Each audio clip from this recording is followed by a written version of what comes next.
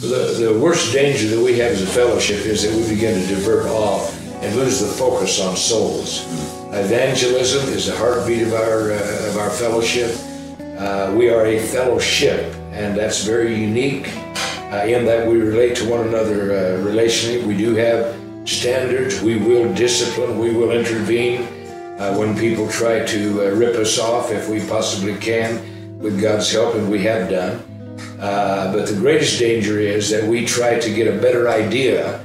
We try to change that, and we want to relate to the present uh, uh, generation, and we begin to uh, be drawn aside.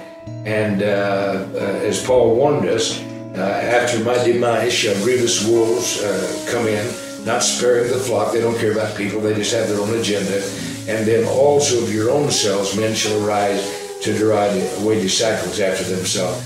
So those are the greatest danger that we forget what we're about, which is evangelization, reaching souls, getting them saved, discipling them, sending them out to evangelize.